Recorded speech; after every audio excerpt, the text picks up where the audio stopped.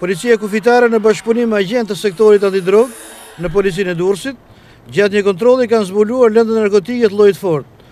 Droga është zbuluar gjatë kontrollit që është bërë drejtuesit një kamioni.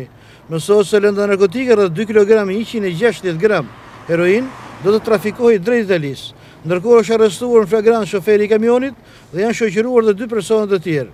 Një grup hetimor i mbërritur menjëherë në vendngjarje, ka filluar punën për të mësuar më shumë detaje mbi këtë rast të trafikimit të lëndëve narkotike, ndërkohë që i ndaluari do të hetohet tashmë nga Prokuroria për Krime të Rënda në Tiranë. Droga, sikurse ka njoftuar policia, ishte paketuar dhe vendosur përreth trupit, e ngjitur me natriban.